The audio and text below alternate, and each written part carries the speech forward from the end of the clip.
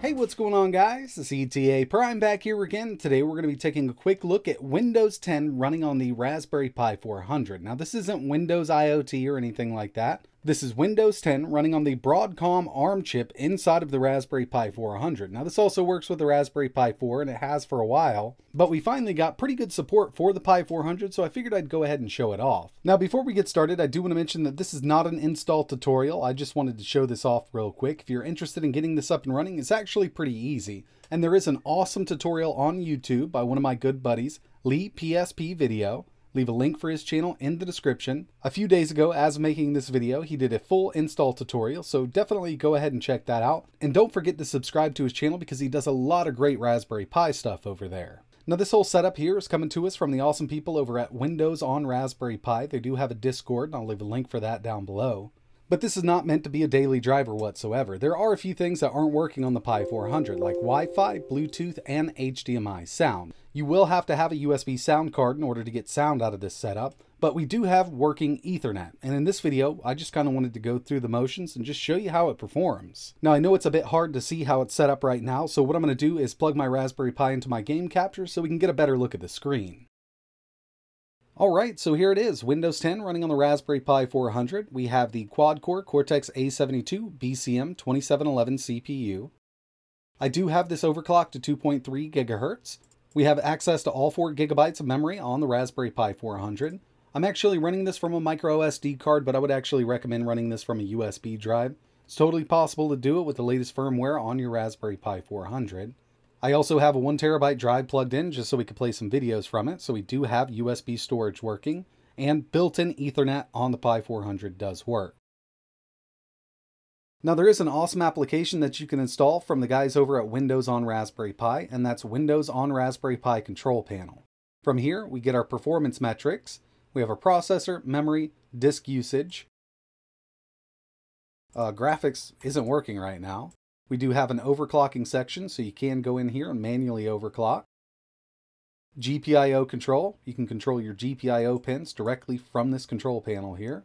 About and applications.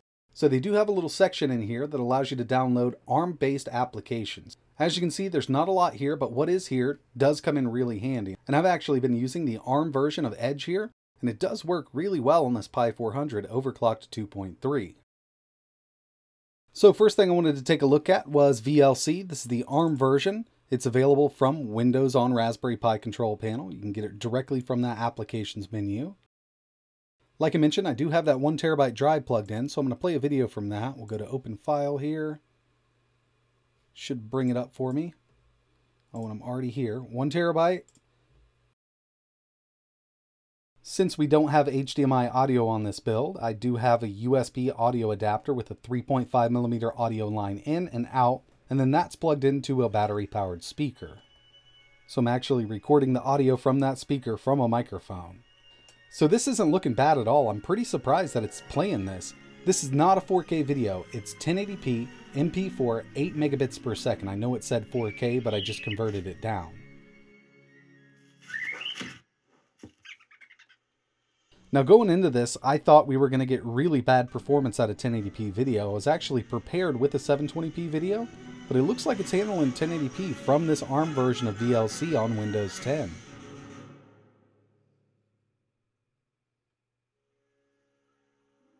So the next thing I wanted to go through and test was just a little bit of internet browsing and YouTube video playback. So we'll use the ARM version of Microsoft Edge. Again, got this from the Windows on Raspberry Pi control panel and we'll just head over to the Raspberry Pi website.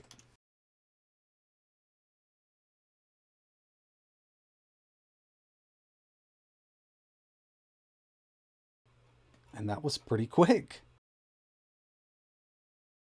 I thought we'd be working a lot slower here. Uh, one thing I wanted to check, let me just take this over to the left-hand side. I'm going to open up my task manager.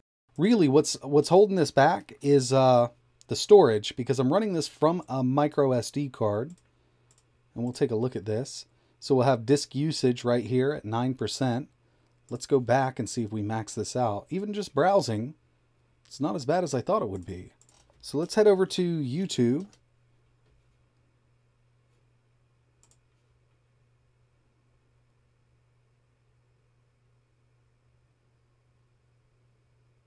Yeah, I figured that would jump right up to 100%, but it didn't. And there's the video I wanted to test right here. Pause it. Stats for nerds.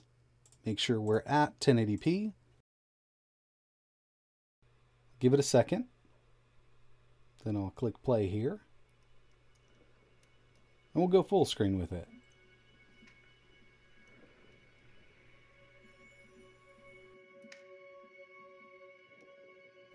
So it did take a little while to go full screen.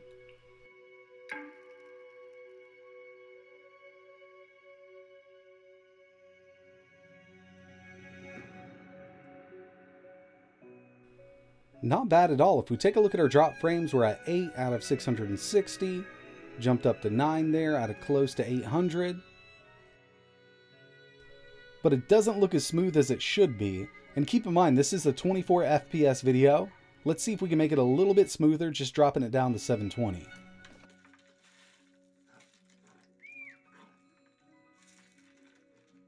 And we're not getting any drop frames at 720. Now, when it comes to those drop frames at 1080p, I figured it would just be like on the rise the whole time, but it was doing a decent job. This is working way better than I thought it would.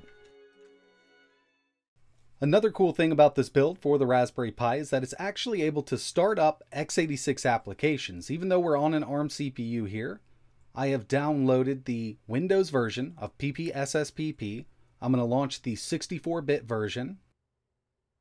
And I was really surprised by the performance here. Uh, I didn't even think it was going to launch this application. I got a game right here and a controller plugged into the Raspberry Pi 400.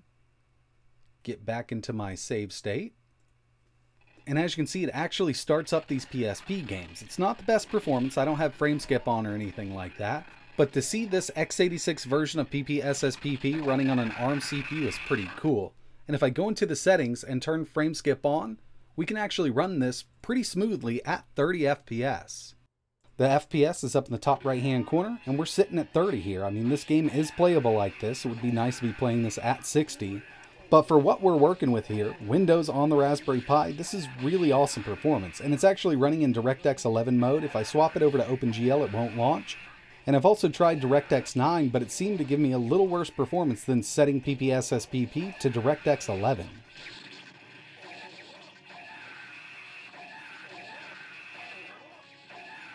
So there was a few more things that I wanted to test like GeForce Now, but unfortunately as soon as I get into a game it tells me that my system's not compatible. I also tested out Stadia through Chromium and it just loads forever. I was trying to do Cyberpunk 2077. Unfortunately those streaming apps aren't working right now.